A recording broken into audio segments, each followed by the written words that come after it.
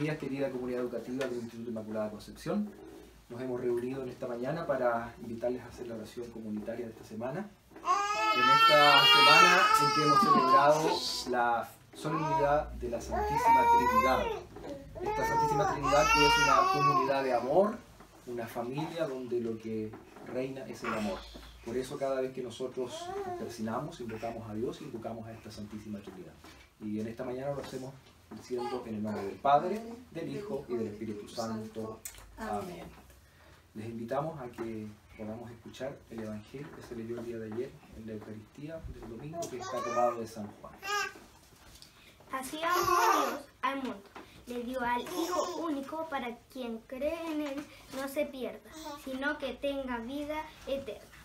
Dios no envió al Hijo al mundo para condenar al mundo, sino para que se salve el mundo.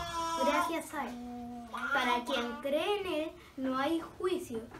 En cambio, el que no cree ya se ha condenado por el hecho de no creer en el nombre del Hijo único de Dios. Palabra del Señor. Gloria y honor a ti, Señor Jesús. Bien, vamos a presentar entonces todas nuestras intenciones, nuestras peticiones que le vamos a hacer al Señor en esta mañana.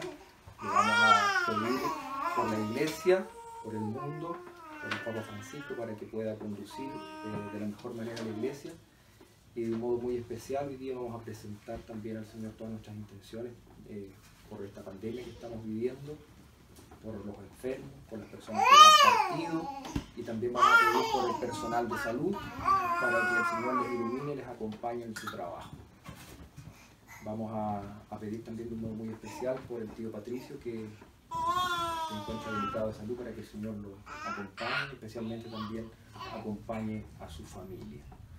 Les invitamos a que digamos la oración que el mismo Cristo nos enseña.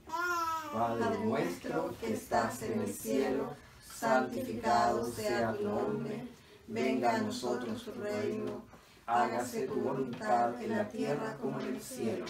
Danos hoy nuestro pan de cada día, perdona nuestras ofensas, como también nosotros perdonamos a los que nos ofenden. No nos dejes caer en la tentación y líbranos del mal. Amén. Amén. Saludamos también a nuestra Madre, la Virgen, y le decimos todos juntos, Dios te salve María, llena eres de gracia, el Señor es contigo. Bendita eres entre todas las mujeres y bendito es el fruto de tu vientre Jesús.